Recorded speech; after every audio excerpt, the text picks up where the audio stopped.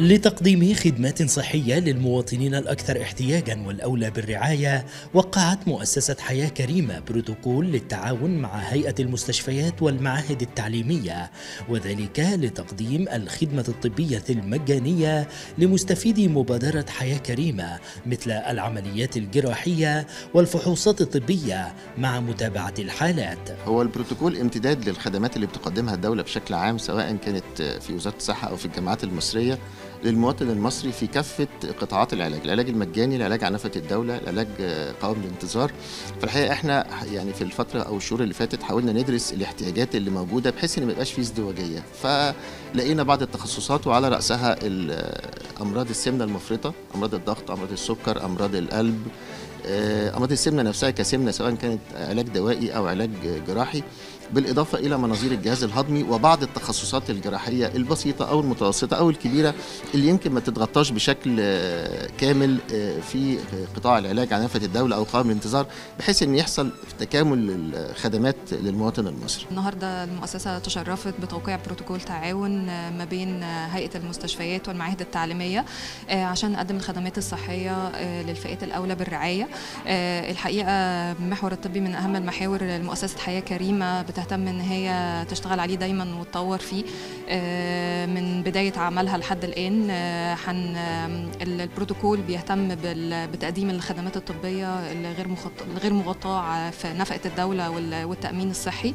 وإن شاء الله نغطي أكبر عدد من المستفيدين مستفيدين حياة كريمة والفئات الأولى بالرعايه بإذن الله. البروتوكول تضمن توفير الدعم والتدخل السريع للحالات الطبية العاجلة من خلال شبكة المستشفيات والمعاهد التعليمية.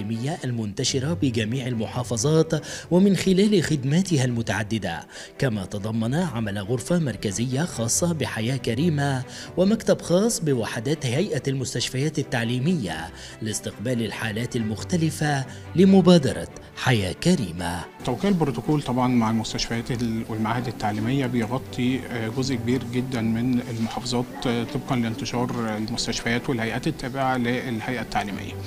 المستفيدين طبعا بيبقى دايما حياه كريمة بتركز على المستفيدين الأكثر احتياجا والأولى بالرعاية.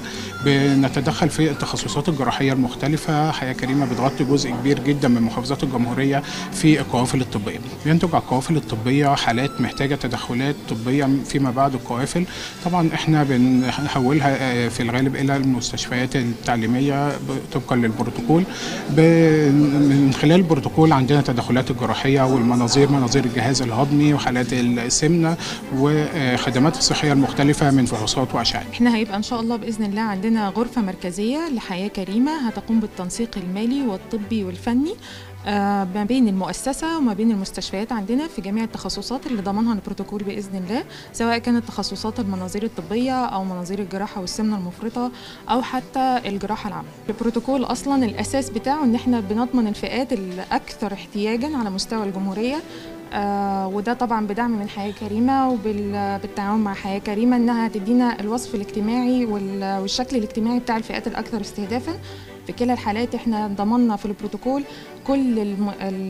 كل التخصصات الطبية اللي نوعا ما لم تشملها نفقة الدولة ونوعا ما لم تشملها لم يشملها التأمين الصحي.